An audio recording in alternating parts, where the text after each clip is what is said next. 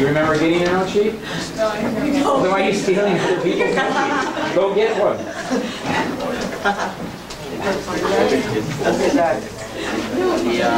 Oh, I'm sorry. So, uh, today, we're going to go through a lot of terms that you may have heard of before, but we're going to be utilizing a lot of them throughout the year. Uh, it's important that you have this understanding of how we're going to use them, how they apply uh, from labs to tests, everything else. So, we're done, right, ladies? Are we done? We're done, right? We're good? Okay. We, you're in, you're in treat today. All right, I thought we were done. We're done?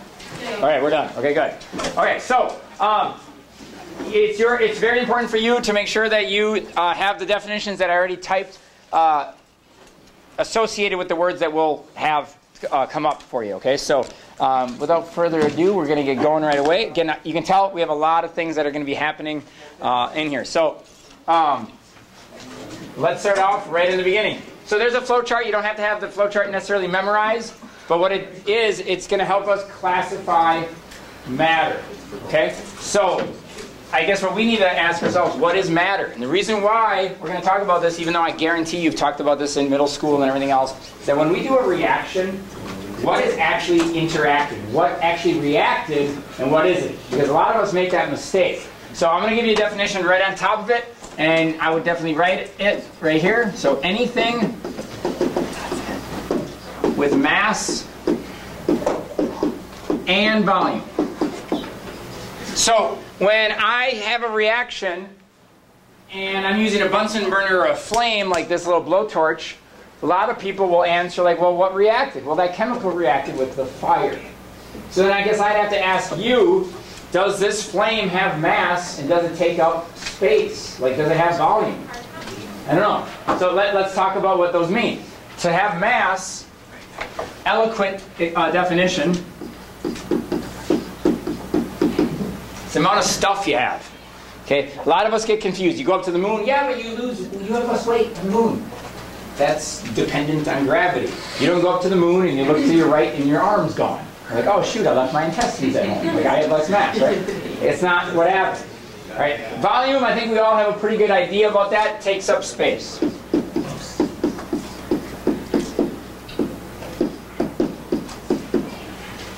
So fire does not have mass. Doesn't. Well, if you kept this going, it would weigh less. Yes, the fuel would be reacting with the oxygen, and the evidence is that fire. But that, that's different, right? Uh, so chemicals are matter. Uh, time, time is not matter, right? It's not like you're like, oh, what time is it? Ah, it feels late. It's heavy. It's 10 o'clock. That's a lot heavier than quarter to nine.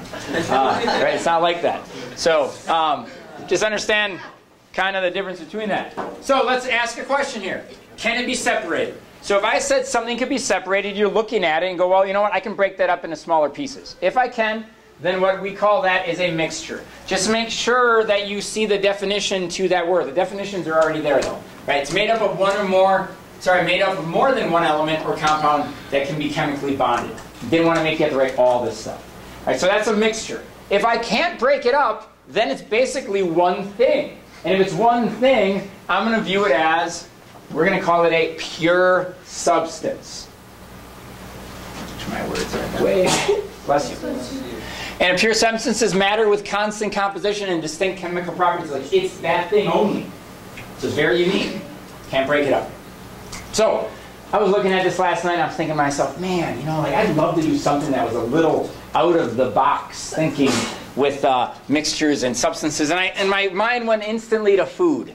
It just went to food. I'm like, you know what? You can talk a lot about this stuff with food because normally in chemistry we can't talk about food because we're dealing with chemicals. So um, I went off of this question right here. Is the composition uniform? Yes or no? So I started looking at things, and and uh, the first thing I thought of is I went in my fridge and I, and I brought out this orange or apple juice. Hey,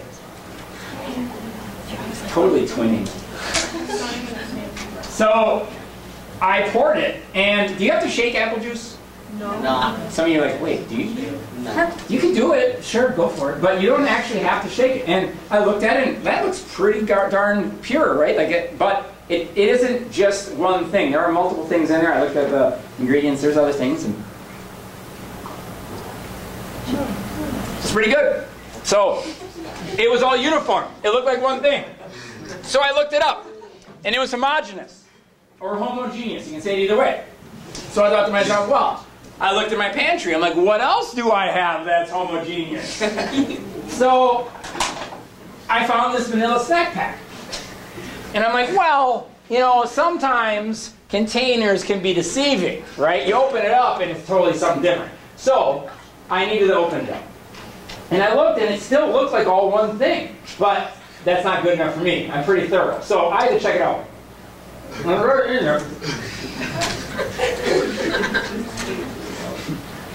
And it was! It was one. So that is definitely a mixer with uniform composition throughout. So okay, I'm like, okay, okay. So I found something that's all the same. But then I went in my pantry and I was very confused. I found this. I'm like, well, that looks the same, but okay, that looks different, but that looks the same. So is each layer homogeneous, but the whole thing not? Or is this just a cool container and when I open it up, it's going to be like, you know, purple and nothing's in there? So I started looking that up and I found out that is a heterogeneous mixture, I think. So it's a mixture with non-uniform composition. But you know what? I just said I'm very thorough. I need to make sure. So I opened it up, and I was a little confused because it just looked like chocolate. So, you know, sometimes I'm delicate, and when I am, gotta put the pinky out, right? So I'm eating it, and, and I saw that, but I got impatient. So I went in there a little more, and all of a sudden, I started seeing this vanilla. and next thing I know,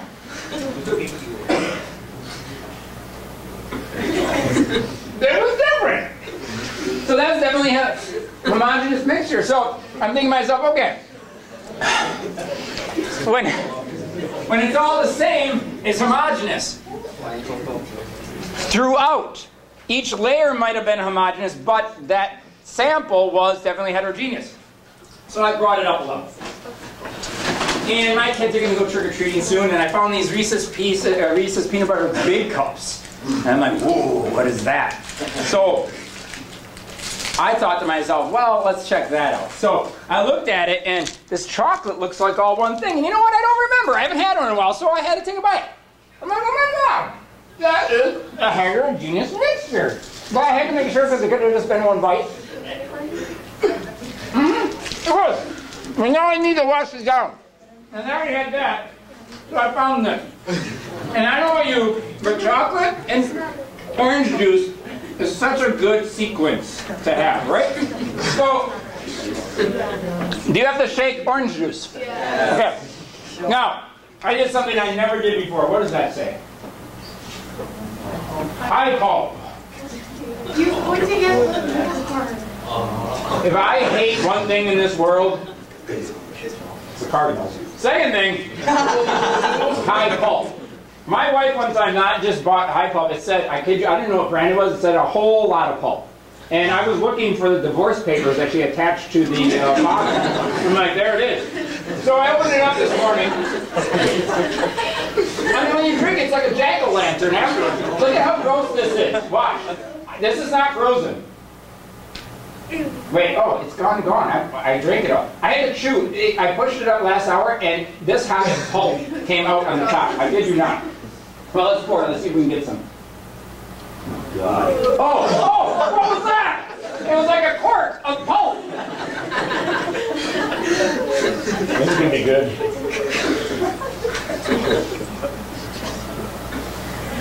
So, after I chewed my pulp, I realized I was heterogeneous. So, sorry. I got, I got this right. So finally, I'm like, okay, I think I broke the code. And I found a Hershey bar. I'm like, you know what? Simple. Simple. Simple ideas. I open this up, and I I'm take shaking. somebody else. It is pulp. What is this? Well, I know it's Is it hetero or homogeneous? If I bite into it, it kind of looks all the same, doesn't it? So that it seems like actually homogeneous. So I'm like, wait a minute. This is homogeneous. And this vanilla pudding was homogeneous. Like does one homogenous thing and another homogenous thing. Is that still homogeneous? Um, and realize it's not. It's heterogeneous.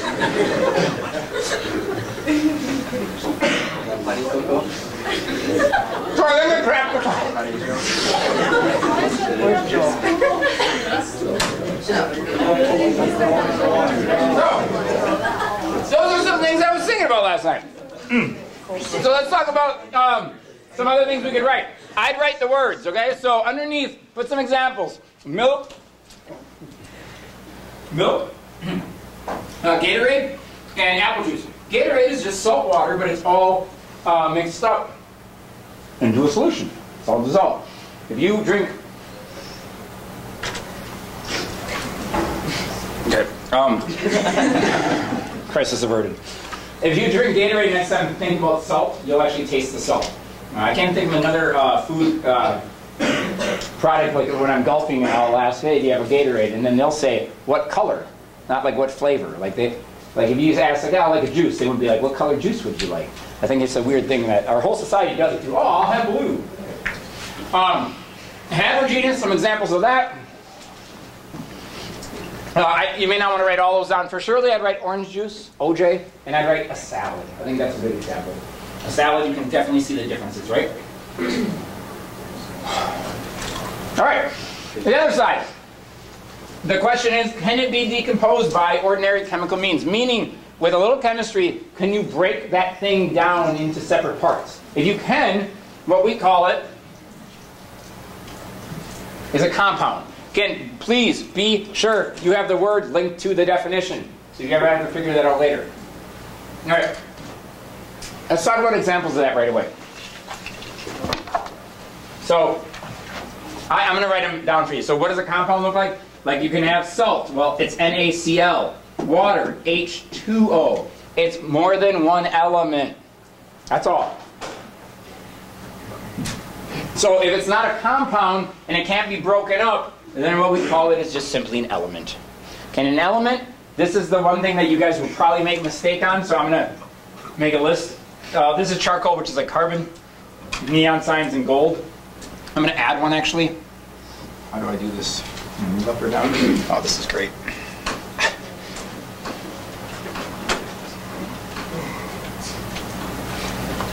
So I'm just going to write it right here. Like you got carbon, you got gold, but then I'm going to add a different one, like oxygen. Well, you put two there though, but it's only oxygen. So when you're breathing oxygen, you're actually breathing O2. That is not a compound. Okay, that is still a pure element. Uh, it's all the same. So those are the ones that if you ever have to classify, those are the types of matter that will be reacting in a chemical reaction. Now, what we're going to do is talk about some of the different parts of uh, reactions and ways to describe them. So the first part today is change. Okay, there's change. You guys are going through change every day in your lives. There's different things that will change. There's change that we can control, there's change that we can't control. And it's all about being able to recognize is it, in this case, physical or chemical change, okay? I think you have more of an idea of this than you think you do. Like, if you change yourself physically, what could you do? You could cut your hair, you could dye your hair, you could lift weights, you could have a tattoo, you could uh, suntan or spray or bake or burn or fill in the blank on that.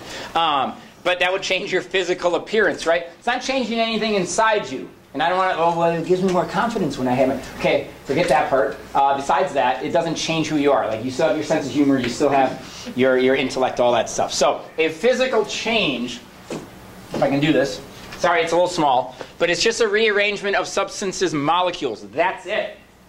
Let me give you an example.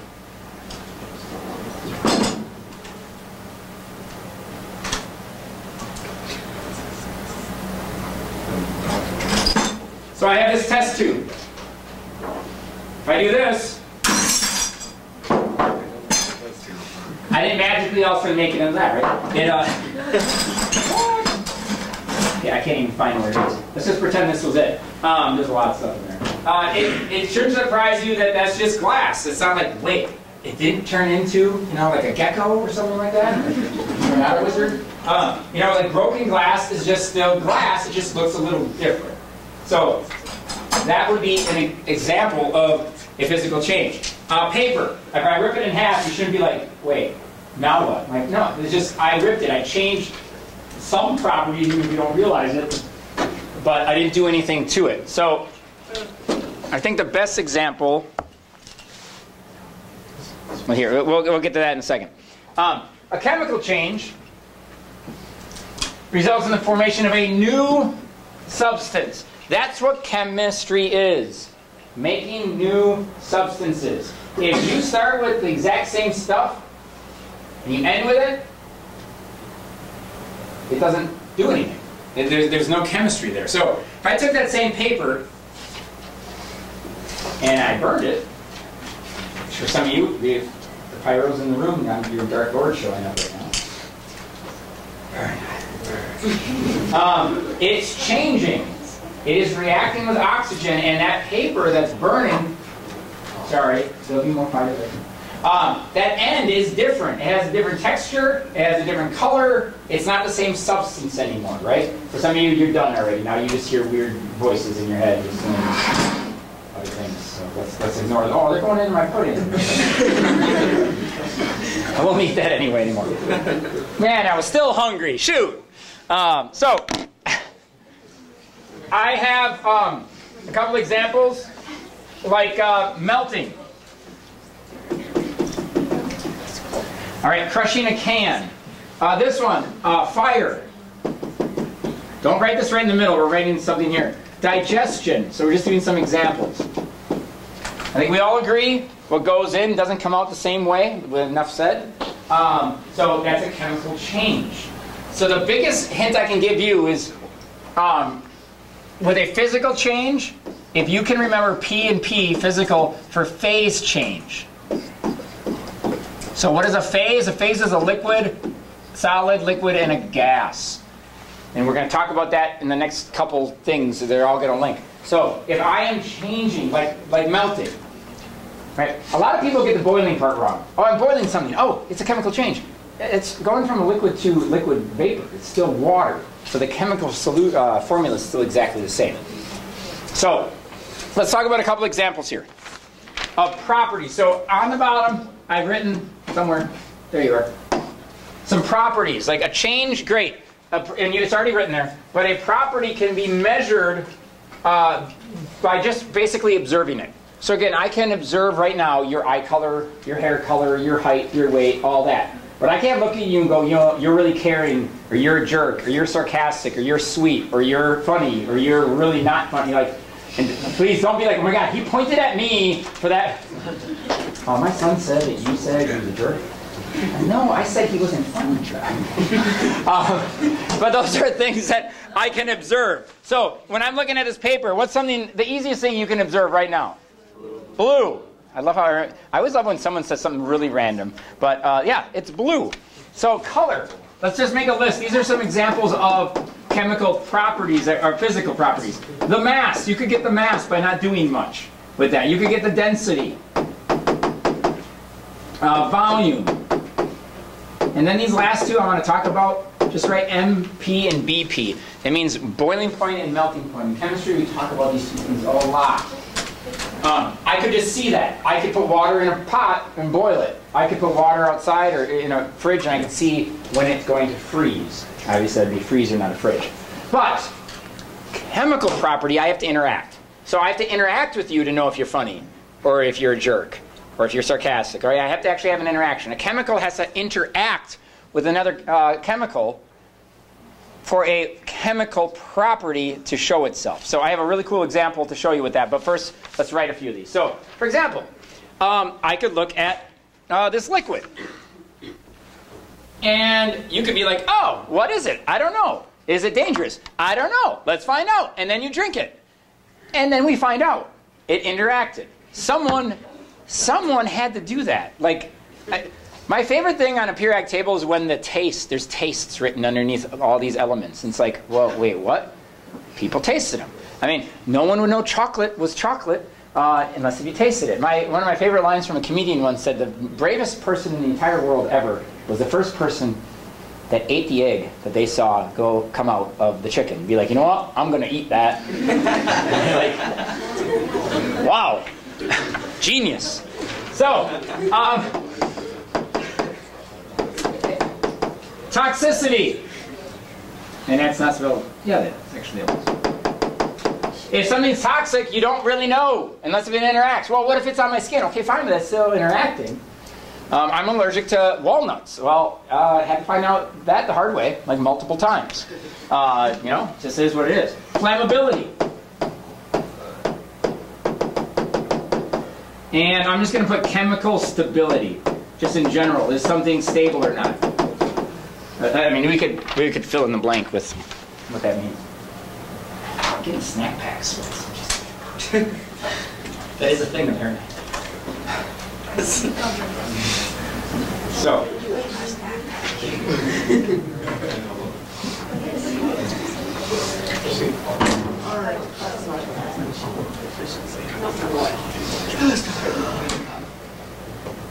See, I'm, I'm like a, um, a late night uh, gas station where you don't keep a lot of money on you. Like, there are no more snack packs in here, so I can't get like raided by all of you. Like, this is it. So it was it was a safety uh, concern of mine, my protection from all of you.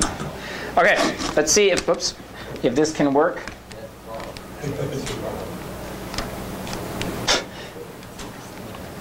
Oh, there we go. Okay, um, what I'm going to do is I'm going to light this candle. That may not light because the wick is screwed up.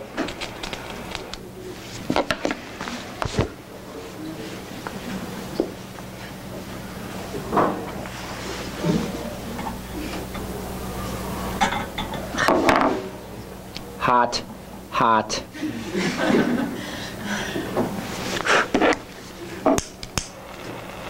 All right, I brought extra candle.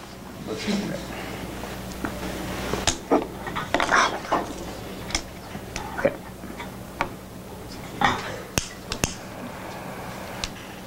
Gotta have a blowtorch, right? All right, there are uh, um, garage fires that happen all the time in the United States. People have towels or rags that are soaked in flammable liquids, or they have flammable liquids that are just open, and then they're working on a car. They're over here, the, the liquids, cars over here, uh, sparks happen in an engine or whatever, and fire starts. Well, how is that possible? I had my flammable liquid far away. So what I'm going to try to prove today in lab, we have to make sure when we have a flammable liquid that we keep it away. I'm going to take this bottle, I'm going to pour it sideways without trying. I wasn't very successful last hour. Um, without trying to pour the liquid down, I'm going to try to pour the gas down the ramp, and you're going to see what happens. Okay? Hopefully. Oh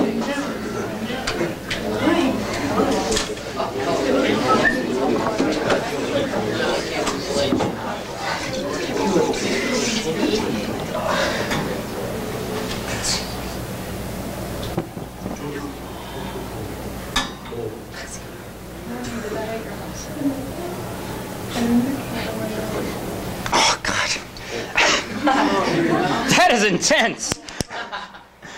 Thank you. I would have been sitting there for like three minutes.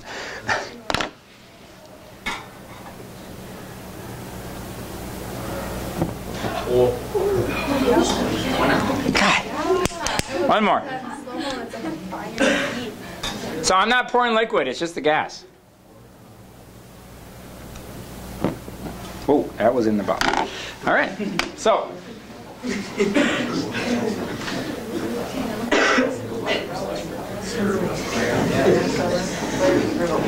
So it definitely shows the flammability of, of a substance and the fact that the vapors can still cause a fire. And that, that happens a lot. So that's why you always need to put it away right away because the flammable liquids are out there. You don't want that to jump, basically. All right, let's finish up. So that's chemical and physical uh, changes.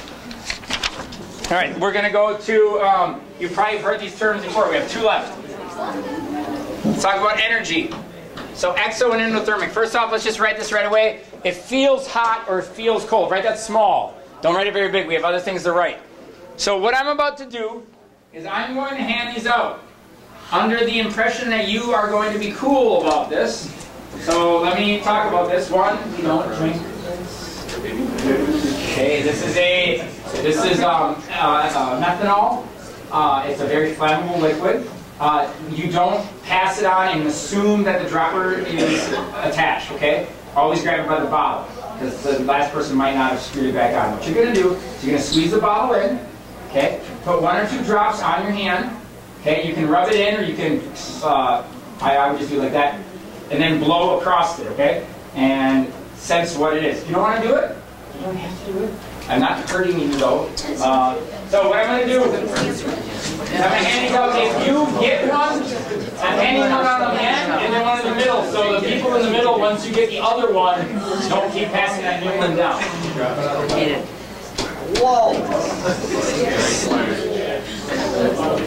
Here.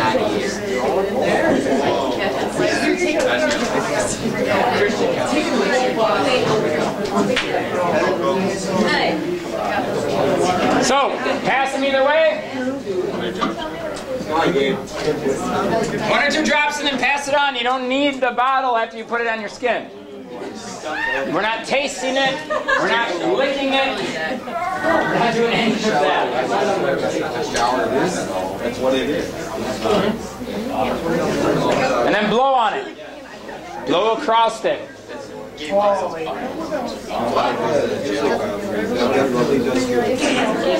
you don't feel anything, you didn't put enough on.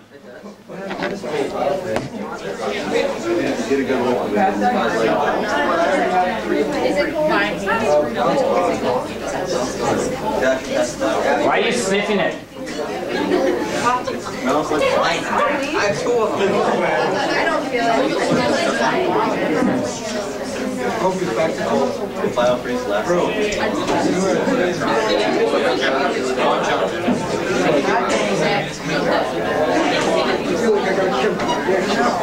Okay, so as we're doing that, guys, exo.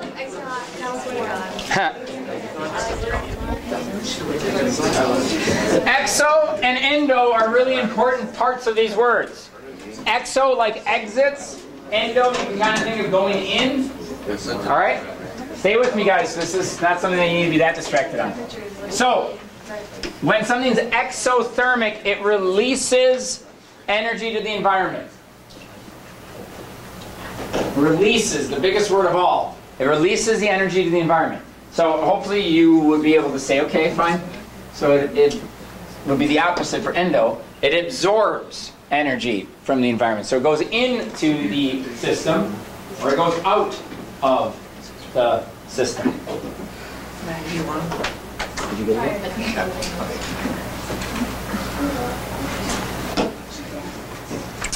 All right, so let's talk about that a little bit. Um, what did you experience? It was cold or hot? Cold. It better be. If you're like it was really hot, then we actually might be allergic to it. Uh, oh, it burns. Um, or you lit it on fire. Hey, that's never happened yet, but never say never. Uh, so then that was clearly what? An endothermic reaction. Okay, so let's talk about that. You blew on a liquid and then it disappeared, so it became a gas. If you're like, it vanished. This isn't magic. You didn't sign up for magic uh, class. So it went from a liquid to a gas. This is just one example. I want you to think about atoms here for a moment. And we haven't gotten into all this, but if you have a solid that's locked in place, a liquid, well, this is kind of a solid liquid. Let's talk about real liquids. A liquid that has that motion, so it's a little more free, meaning that the atoms have a little more energy. This is my salsa dance. And then all of a sudden, if you have a gas, it's going really fast because they break apart and they're not uh, attracted to each other. They're traveling really fast. So, if I'm going from a liquid to a gas, it has to gain energy to make that jump to go from here to like this. So when I get out of the shower, I'm cold because I am uh, the, the liquid's evaporating. So evaporation, I think I have a picture here. I thought I had a picture here. Um, baking is one example. But the other one I wanted to say was evaporation. Don't write in the middle. Don't write in the middle here because we have other things to write. Evaporation. That's a liquid to a, a- a gas. You are gaining. Why are you cold after the shower? Because that layer of liquid is jumping to gaseous state. Where is it getting that energy? Stealing it from you. That's why it takes it from you and it goes into its system. The greatest, most beautiful system, I think, one of, not the most, but one of the ones that we have that we all probably hate is the ability to sweat. We are, have the ability to pump out a thin film of liquid onto our skin, and then when that evaporates, it takes our heat from our body and it cools us down. And, and that, that's all about chemistry and, and energy going in or out to create that new state. So exothermic, what's weird about that, obviously you can write bomb. I mean, that's obvious, or fireworks or anything like that. But um, if I'm going exothermic, uh, I could do something simple like this. If I go from a liquid to a uh, solid, I'm freezing. What's weird about that? Oh, I'm freezing, so it's cold. And why are you saying it feels hot? Well, it's losing its energy. So where's its energy going out? It's leaving it. So you'd actually feel heat. But we don't quite feel it like that. Uh, refrigerator, though, you feel heat from the backside. It's producing cold air in the middle. A little more complicated with that. But uh, it's the opposite way. So uh, I'm going to write a bomb, and then you're going to write freezing. Freezing is another good example. So I have a cool thing up front. I just don't think I wrote this one thing. Yes, I did. Okay. So in the middle here, we're we're getting close to being done here. Oh shoot! Ah, I turned this off. We will let that run. We will come back to it. Give it about three minutes. Uh, I need that. Yep, it's working right now. So we'll leave that. We'll come back. We're going to draw something right here. Let's finish up with the bottom one. So let's talk about properties. This one's a little more abstract. Students struggle with this a little bit. Um, extensive and intensive. So um, let's underline that before I even get into it. Extensive, intensive. So um, like external, you can kind of think of it that way, and internal. So what these are, it's very generic. This is like an umbrella of items. So if I just look at this piece of paper and I rip it in half, again, well, not in half, I take a little piece. What's something that you can observe that didn't change when I ripped it? The color again. Wow, so good. So it doesn't matter. I mean, I hope this isn't a surprise when I keep that. Like, what? It's still blue? What? Of course, it's still blue. Yeah, it's still blue. It tastes blue too. Um, it's blue. So that would be an example of what we call an intensive property. It doesn't matter how much you have of it. Okay? It's always going to be that that item, or that I mean, sorry, that measurement. So this is always going to be blue. But is there anything that you can measure, anything at all, that if I did that, that this would be different than this right now? There's multiple answers. Mass. What, if I weigh this, wouldn't they be different? That's a good one. So that is what we call an extensive property. The, just the word mass is an extensive property. So I have a couple examples that we can write, and that's one of them, mass. Uh, mass, um, height, volume. Right, these are all things, it doesn't work perfectly, but if you measure them, if you make a measurement a lot of times, it usually will change the, the classic measurements we make because they are extensive properties. But what's an intensive property? Well, I picked a really good example in general is a diamond. A diamond has a lot of things that we could talk about with it. One, the color would always be the color. Uh, the density is always going to be the same. The hardness. Things that will never change. We're going to do some on our um, examples as well. Uh, is that liquid, if I took a little bit or a lot, would it still be flammable? Probably be the same amount of being flammability. I, I obviously wouldn't burn as long, but that, that's not the same thing. It's not like you take a drop, you go, oh, it doesn't burn at all now. If you take a lot of it, it does. Uh, so that's kind of how that one is. So that, that we'll, we'll look at that in our homework. The homework's gonna be so easy. You guys are probably gonna finish it way early. It's not due until next Wednesday, and some of you will finish it by tomorrow. We gave you way too much time. But we're not gonna change it now. All right, so I'm gonna give this as much time as possible, so we're gonna write it here first. I have the sun, here's my sun, and what I have is I have a solar panel. And then there are two cells here. This is a fuel cell. And this has been a huge thing for our society for probably 20 years now, trying to find means to make cheaper fuel, right, uh, for our vehicles without having it at such great costs to us. So what happens is energy, we're going to use it as E, draw an arrow from the sun to the solar panel, goes into this. And then, what I have is I have two columns, and I don't know if it's working. Two columns of water right here. And what's happening, there should be water up here now, and there should be gas in here. And if I hold this up, I think you guys can see some bubbles if I push it. A couple bubbles rising. If you can't see it, there's bubbles that are coming out of here. This cell is taking the energy from um, the solar panel, and it's and it's attacking the water. So what it's doing, and I'm actually going to draw this up a little bit. You guys probably have more room than I do. It's attacking the water and it's breaking it apart. So those two bubbles are actually making oxygen and hydrogen gas. So if I put energy in, what is that? Exoendothermic. I'm putting it in. So it's endothermic, right? In baking, you don't put the cake on the counter and go, what are you doing? I'm baking a cake. It'll be done in half an hour. It's good. I mean, those jello cakes actually do that, but you got to put it in the oven and it gives itself, or the oven gives the energy. So the sun's going to give us our energy. So this is the endothermic reaction.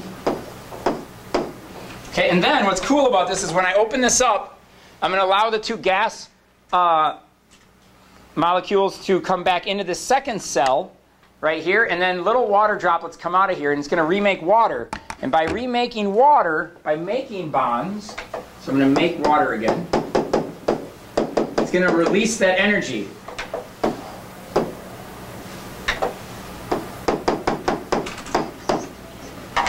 So the energy is going to come out. And when I open this up, unfortunately, I did not. Uh, it's already going. It starts it up. I didn't even really open it up yet. And it can start running the. It's not because of the lamp per se, it's because of the bonds being broken and then bonds being reformed again.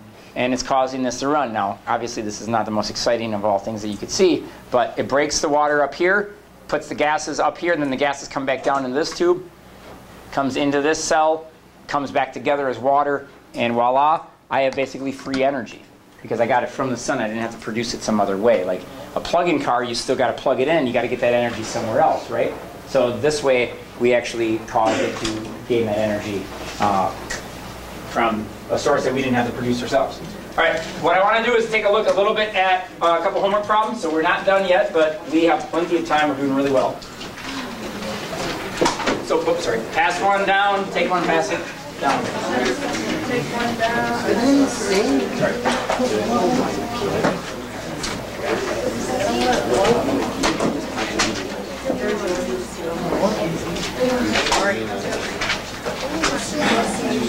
Oh, thank you.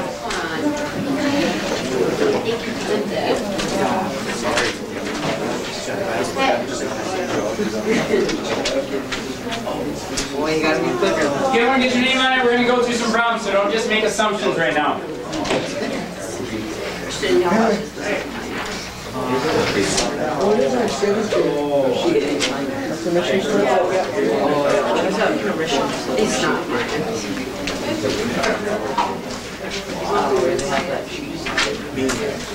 Want.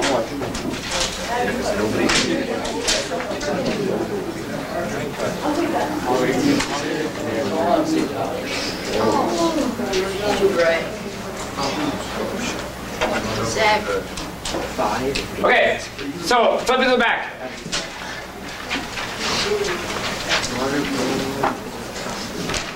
So number five talks about physical and chemical changes. Reminder, a physical change means that it's still the same thing. So if you knew the formula, like it's still salt, or it's still water, it's still this or that, then it's a physical. If it's something new, then it's a chemical. So I have boiling water, okay?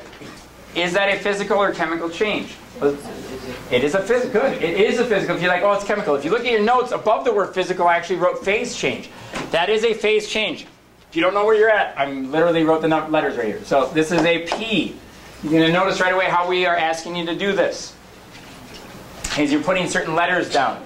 So on A through I there, you just have to ask yourself, is that thing changing into something new? Now, some of you, you could argue, okay? For example, mowing the lawn. You could say, well, when it first happens, yes, but after 10, 20 minutes, an hour, a day, then is that something different? Am I talking about the motor? Am I talking, like you could argue a lot of things. Try not to look into it too deeply. For that one, for example, I'm thinking about literally the blade of grass getting clipped. That's what I'm thinking about. All right, jump into six though. Stay with me on these just so you're, I'm trying to keep your head in the right space here. Um, if I look at milk, milk would be what? M or T? So M for homogeneous, T for heterogeneous. Is it all one thing? Yes. Yes, you. Good question for you to ask. Do you have to shake it? If you're shaking your milk, you need to throw it away. It's not good. Or that's your cottage cheese and you just don't know how to identify the difference between them. Um, paint. What do you have to do with paint? You got to stir it, right? You have to. It, it settles out. So that means it must be a heterogeneous mixture, right? Has to be. Can find the problems. I don't have letters on each of these. You can you can find them. Uh, number eight. I thought this one was a little harder, so I want to talk about it. Indicate whether each is an exo or endothermic. So here's an important thing: frost. What I would do if you're not sure, write down S's, L's, and G's. So what is frost? It, what is it? it? It ends as a solid. It came from basically dew, right? Or moisture. So it's an L. That's an L. Liquid to a solid. Think about energy. Can we, we just kind of introduced it today, but a liquid has a certain amount of energy and then a solid has less. So if I have less than I started with, what does that mean? It's a exothermic. It released it. Like, wait, wait, what? Endo, you would have more. Exo, you have less. So as you're going towards the solids, in any order, as you're heading towards the solids, you're always releasing it. When you're going towards the gas, you're always gaining it. So this, what do I have? What are my options? Oh, uh, X or N. So that would be um, X for endo. Uh, number nine, an extensive or intensive. Okay, I try to do one that we haven't really talked about yet. Actually, two of them. Boiling point. I, I think we'd all agree if I had a thimble of water and a bathtub of water, that the thimble would boil faster, like sooner, right? But at what temperature would they boil at? They both would boil at 100 degrees Celsius or 212 Fahrenheit. Both. Just one takes longer. So it doesn't matter how much I have, and I'm just jumping right into that one. This doesn't matter how much. If it doesn't matter how much, it is intensive. The second one is trying to show malleability. It's a fancy way of saying that something's bendable. Um, I think the actual technical definition is the ability to be pressed into sheets. But um, you know, we always do that with gold medals, although it's all fake because we're not trying to actually see through gold. Uh, so if I have a little bit or a lot of it, it's still going to be as as bendable or as not, as malleable or not as malleable. It's like as flammable or as not uh, as not flammable as it's going to be. It is still an intensive property. So what you need to do is look at those and wonder, okay, if I cut it in half, will it be more or less? So what's the first one that's actually an extensive on that? Hmm? No? On that whole problem, what's the first one that's extensive? Length, the first one. Trick question. If I cut the length in half, it's half the length. That's extensive. It matters how much I have of it. Um, number 10, uh, oil and water. So we're doing element, compound, homogeneous, or heterogeneous. Well, I look at that picture. Clearly, I have more than one thing, so that's not pure. So now I got to go to uh, homo or hetero, and clearly that is different, right? So those are not the same. So that is a heterogeneous mixture. Right? Hetero means different. Homo means the same. All right. So flip the sheet back over. I have one more thing to show you. We're to do four problems because it has confused students in the past. Okay. So, your job is to say pure element, pure compound, homogeneous or heterogeneous mixture. So first, if you look at it and it's all the same thing, it's going to be a pure something. If you have differences, it's a mixture. But, unfortunately, these pictures have confused everyone in the past. So, let's just take a look at number seven if you look at that and go, well, there's two white ones connected to each other. Yes, but it's all white uh, on each one, which actually is not the reason why it's going to be the answer I'm going to say uh, completely. The fact that these are all the same, that's first off why it's pure. Okay, now, if that was a white and a black one, then I have two different elements. So then it would be a pure compound. But because they're all the same element, that is a pure element. Go to number 11. Do you see a difference from one set of atoms to another? They're all the same, right? So that is pure. But there are different elements within each one, right? So this is a compound. Hope that already kind of makes some sense. Now, let's let's step it up a notch here. If I look at number 8, you see differences, right? I mean, look, you have single white ones, you have single black ones, you have ones with two whites and a black. So that is a mixture. So now this one, you and your friend might be looking at the exact same photo and you say one thing and the other one, and your friend says the other, and you probably both could convince someone else of your position. What I would just suggest is take a step back and go, does that look pretty evenly mixed up? So in this case, I guess I'm going to try to steer you towards how I see this. I see those three black ones all by themselves, like with nothing else there, and I don't feel like then that's evenly distributed and, and mixed up. So to me, that's not a, uh, an even uniform mixture. So I'm going to say that that is a heterogeneous. Now, if you interpret that differently, you could probably convince me. But that's how I interpret that. So, um, can you, you find there's there's a there, what can you find a homogeneous one on these six? It's my last one I was going to do. Which one do you think is a mixture, but it looks decently even? Now, if you're counting, well, uh, there's four on this side of the paper and there's five on this side, and wow, you have done way too much. It's an eye test. What, what number? 9, 10, or 12 is homogeneous?